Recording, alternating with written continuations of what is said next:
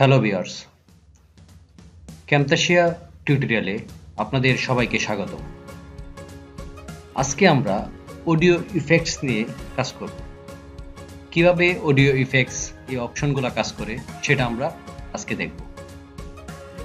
তো প্রথমে যে অপশনটি আমরা দেখতে পাচ্ছি সেটা হচ্ছে অডিও কম্প্রেশন।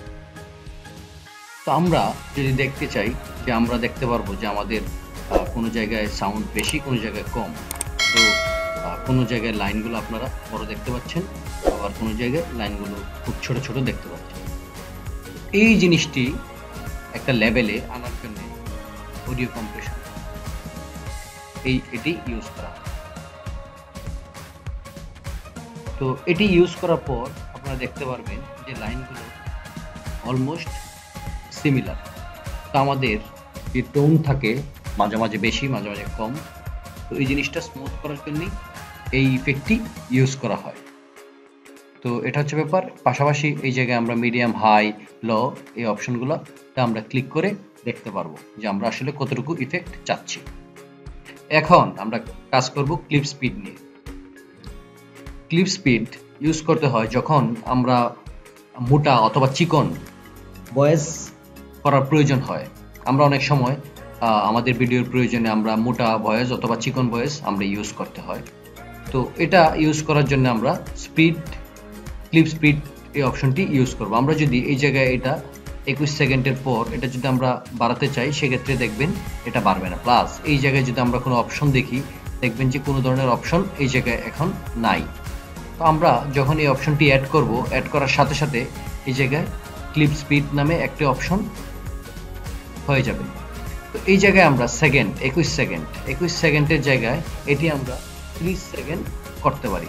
তো আপনারা দেখতে পারবেন যে আমাদের এটা একুশ সেকেন্ড থেকে এটা ত্রিশ সেকেন্ড হয়ে গেছে।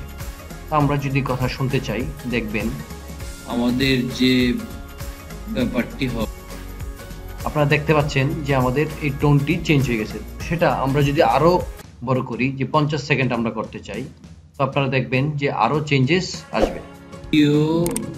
নতুনভাবে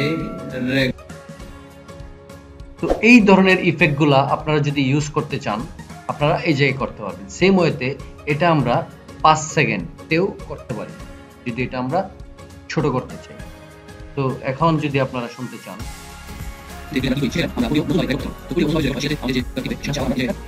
তো আমরা বিভিন্ন সময় এই ধরনের সাউন্ড শুনতে পারি আমাদের ভিডিওতে।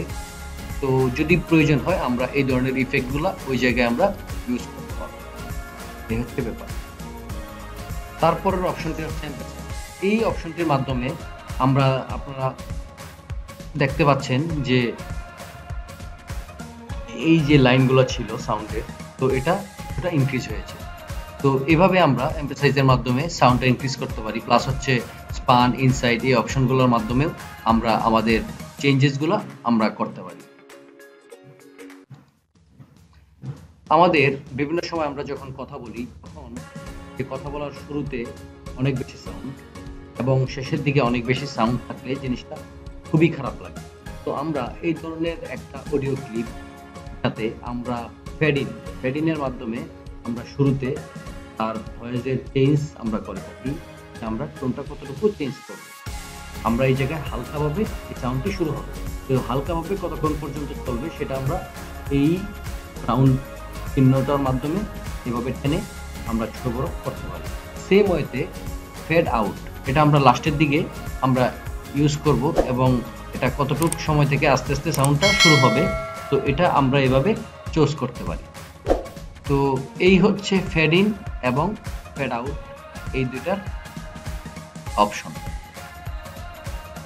এভাবে আমরা সাউন্ডটি এই অপশনটিতে যদি আমরা ক্লিক করি, সেই জায়গায় তো এই জায়গা থেকে আমরা আস্তে আস্তে দেখবেন যে সাউন্ডগুলো কমতে থাকবে।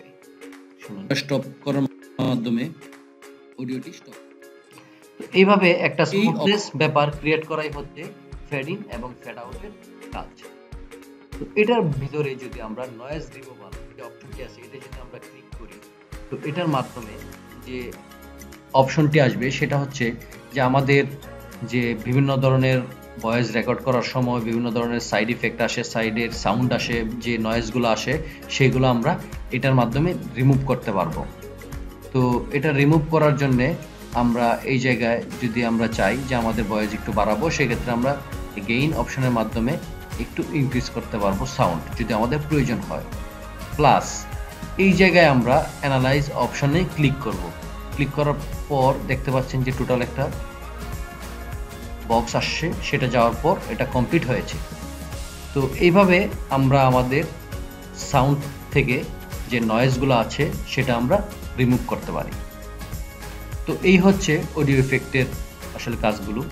তারপরও যদি আপনাদের কোনো ধরনের কোয়ারি থাকে, আমাদের কমেন্ট বক্সে যাওয়ার, জানাবেন। আমরা এইগুলোর সমাধান দেওয়ার চেষ্টা করব। আপনারা সবাই সুস্থ থাকবেন, ভালো থাকবেন। খুদা হাফেজ।